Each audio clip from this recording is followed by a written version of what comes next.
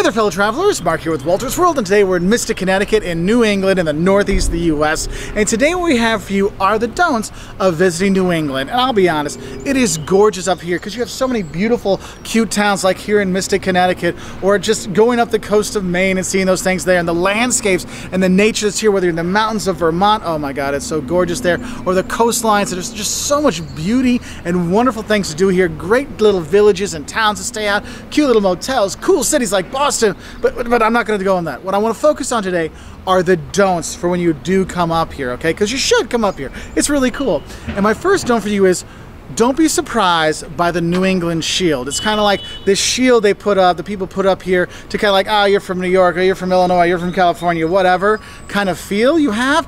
Don't let that put you off because the thing is, is the people actually are really nice. They will help you. They'll tell you where the best places to eat are. They'll tell you, you know, hey, you should check this village out or check this town out or go here, go there. The people are really cool when you're up here, but they're not going to necessarily bring you into their home, okay? This is one of those those places that they're really helpful, but they're really helpful when you're out there, okay? Now, if you actually, you know, crack through that hard shell, that, that New England shield, they're even so much more welcoming to you, so it is great, but just have a heads up that that New England shield is a real thing, but don't worry about it because the people will help you. Now, my next don't for you is probably going to be the one that drives you the most crazy when you're up here, and that is don't go crazy when you drive I-95.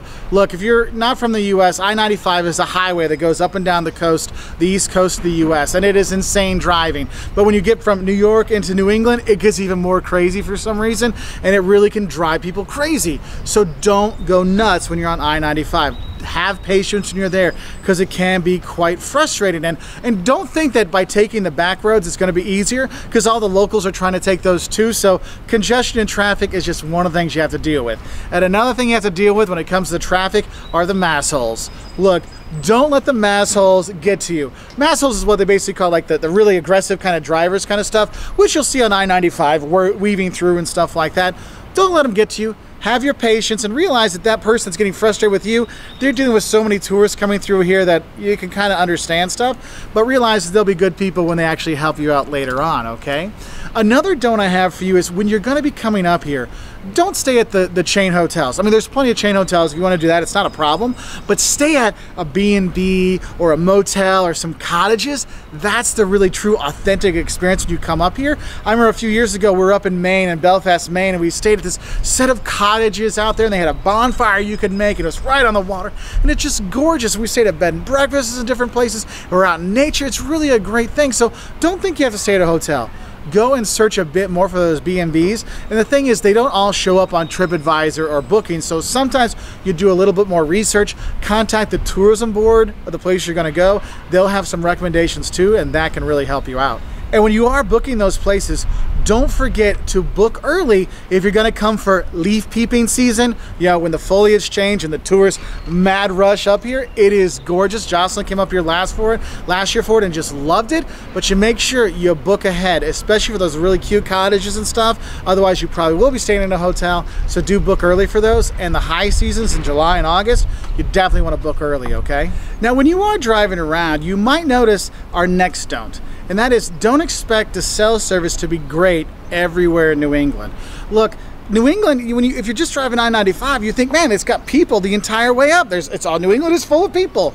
Actually, if you go to a place like Vermont, it's one of the like two smallest populated states. I mean, there's more people in DC than there's in the whole state of Vermont, and it's gorgeous. But you, since with such like low population density, sometimes there's not as many cell towers, so a signal can be a bit tough to come by if you're going like in the mountains and stuff like that. So just have a heads up when you are doing those things. So if you're using your GPS on your phone, download the off or download the offline map so you have that as well. But you should be okay. But that's one thing I have noticed is that signal does drop a lot. And we were up in New Hampshire and northern Vermont, it was like hit and miss. And sometimes we get the Canadian service. So then AT&T's like, oh, you are in an international roaming zone. I'm like, whoa, whoa, whoa, wait a minute. We are really close to the border. So just have a heads up for that one. Um, oh, speaking of Vermont, this one you gotta, I have to tell you, don't drink anything up here except for New England beer. They have awesome beer up here. And for me, the two best states with local beer, Vermont is number one and Connecticut is number two. I mean, there's good ones in the other places, but those are the ones I've loved the most. And so when you're going to pick up your beer, pick up the local stuff. Sadly, the Vermont beers, for some reason, they don't export as much as I wish they would, so you're only to see that sometimes. But if you get into Vermont, man, just stock up, okay? It is awesome. And I guess another don't I should tell you about the liquor here is don't expect to be able to buy alcohol at normal stores look, if you're in New Hampshire or Vermont, Maine, stuff like that, there's actually state-run liquor stores that you have to go to to buy your liquor. So that can be a little strange. You're like, hey, I want to go pick something up, and you go in the, the store, and you're like, hey, where's where's the alcohol? Oh no, you have to go to a liquor store for that. I'm like, oh, oh really? Yeah. So there might be other stores for that. Also, don't expect to easily find alcohol on Sundays because some places they close early uh, selling liquor on Sundays, or sometimes it might not be open on Sundays. So just have a heads up for that. Um, but but another don't is don't worry about not getting the beer because if you go to the local restaurants, they always carry local beer there, so you'll be totally happy. Okay, so drink up and enjoy, but you know don't drink and drive obviously, but do enjoy it when you are here because it is awesome. And some other don'ts I could should say like the fun with the food and drink mix is don't forget to eat the local specialties. Yes, you are going to have lobster throughout on the coast, and the lobster rolls in Maine are fantastic. So don't be afraid to pull off the side of the road when you see a, a, lobster roll stand. Just pull off, grab one, have it, enjoy it, love it, be it, and then hop back in and, and take off. I mean, we've stopped at um, them because someone had little playgrounds for the kids. The kids would play. Joss and I have a lobster roll, chat for a bit, and then we'd be back on our way. That's great. The New England clam chowder, oh my God, it is so good. And yes, just like anywhere in the world, when you go to the place where the name is, it's always better. It is amazing here. The oysters that are here, I mean, it's just such great seafood when you're you are here. Don't skip out on that. But also, don't skip out on the fun little things like whoopie pies, which is like it's like a chocolate cake sandwich with with cream in the middle. That was so good. The boys and I really enjoyed that. There's Necco wafers. You can have things like that. Yes, of course, the Boston baked beans and the the Boston cream pies that are out there. It's oh my god. There's so many good local things you can have, and you know they have their little silly you know local treats like you can make at home. I mean, you can have a, a fluffernutter at home, which is just instead of peanut butter and jelly, it's peanut butter and and marshmallow fluff. You can have those things. There's all these cute little things that are here. So make sure when you're going to those restaurants or those B&Bs and stuff like that, ask, hey, you know, is it clams? Should I get should, should I get mussels or steamers or, or what should I get when I come here? They will let you know and they will tell you the best place to have those. But don't skip out on the local beer and the local food. I mean, obviously, but here, especially that way. Another don't I have is it's going to be easier for you to do that because don't expect to see a lot of chain restaurants. I've found in New England you don't have as many of the fast food joints and you don't have as many of the uh, of the big chains, fast casual places. You have a lot more local mom and pop places, which is really cool, or New England chains. So do check out those and enjoy those things. Um, and, and when you're drinking here, if you don't want alcohol, don't be surprised if you see more flavors of seltzer water, like bubble water, than you see soda. It's crazy. They love that stuff up here. Uh, now, now one don't though I have for you that's that's not so happy is don't expect to hear that hardcore Boston accent too often. Look, New England, it's it's it's a big region, and people don't sound like that. You know, we're from Boston, and blah blah blah. You don't you don't actually hear that too often, which is funny because I didn't hear it at all at Boston until I got on the Amtrak train to come back to Mystic. So so don't be sad if you don't hear it. You might hear it, but but don't really be surprised if you if you don't hear it. Okay. Oh, another don't with Boston around there is if you didn't know that uh, Dunkin' Donuts is actually from New England and they love Dunkin' Donuts. Okay, and I'm going to tell you right now, you might not like Dunkin' Donuts, but as a traveler, as a tourist, it might be your best friend for breakfast when you are up here because it's everywhere. Okay, and so that's going to be your coffee, donut, snack place for the mornings. Just a heads up for that one. Another don't I have for you is when you are talking to the locals, what you need to know is don't bother talking about any other sports or any other teams except for the ones from New England or maybe New York. I mean, and you'll see everywhere you go where they sell baseball caps or jerseys or shirts, it's the Red Sox everywhere. The Patriots everywhere. And the Yankees everywhere, okay? So you will see that, and they only like talking about their sports, so just have a heads up for that. Um, which is funny because I say about the Yankees, and you'll see people with their Yankees hats and flags and stuff like that. What I want to say about New York is don't think that New York is New England. It's not. New England is a different part of the country. New York is a state that is separate from New England. New England is Connecticut, Rhode Island, Vermont, New Hampshire, Maine, okay? It's not New York, all right? So just a heads up. Though you will see all those Yankee, all the Yankee caps, you'll see the New York you know, license plates coming up here, especially during leaf peeping time but don't think that New York is New England, okay? Um, another don't I have for you is don't be surprised if you don't understand the slang here because, you know, it might not be the accent, it might just be the wording they use. You're like, what, what did he say there? Just ask the locals, they'll tell you what it means and they'll get a kick out of it. And probably one that'll get you when you have the little ones around with you.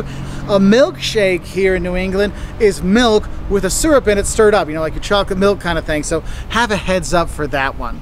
One of my last don'ts I have for you is if you're going to be coming here in the winter, don't complain about the cold and the snow. I mean, there's a reason why White Christmas was based in Vermont because, like, oh, Christmas time, there's going to be snow, snow, snow. It snows up here. And when it snows, it snows a lot. Deal with it. The locals do, and so should you, okay? It's just the way it is. And it can be pretty cool when it does come down that much. Like, wow, I've never seen, like, meters of snow before. Yes, it can happen, okay? So don't complain about it. And the last don't I have for you, and this is one that's near and dear to my heart, is don't forget the whale. If you're not sure who the Hartford Whalers are, it's an old hockey team that's now left Connecticut. It's now called something else we won't talk about. But I know for me, the whale is still right here. And whenever I play NHL 94 on Sega back in the day, and I still play today with my buddies, I always play with the whale. So I hope you have a great time when you do come here to New England. It is a fantastic place to come, whether you're a solo traveler, a family traveler, couples, stuff like that. There's tons of stuff to do inside and historic sites and buildings. You know, there's all kinds of history up here from the American Revolution to, to more natural stuff. There's lots of national parks. There's also places you can, I mean, here in Connecticut, I can go and put a plaster of a dinosaur footprint. There's so many cool things to check out and enjoy when you are here in New England. I do hope you come up here and visit, and don't worry, you will have a good time. Um, if you want to learn more, five things you love and hate about coming to New England. Maybe you want to know the don'ts of Boston specifically, or five things you should eat when you come here. Check us out on our website at woltersworld.com. We're also on Twitter, Facebook, Instagram, YouTube, and we really appreciate your likes, subscriptions. We hope you have a great time here in New England, but we're sure you will. And if you do come to Mystic, the Mystic Seaport down the way, actually a pretty cool place to check out. Bye from Mystic. So I do have another don't for you. When you are eating your lobster when you are here, don't be too proud to wear the bib because believe me, it will save your shirts, your pants, and a lot of trouble. And also, sometimes they have these little things down here, so if you lose a little piece, you can grab it out and enjoy it. So, just a little lobster done for you. Bye from Abbott's. Okay. Oh yeah? If you have a kid, you should do the um, pincher trick. Yeah, don't forget, if you've got kids, they like the little pincher thing. So, thanks Liam, appreciate it.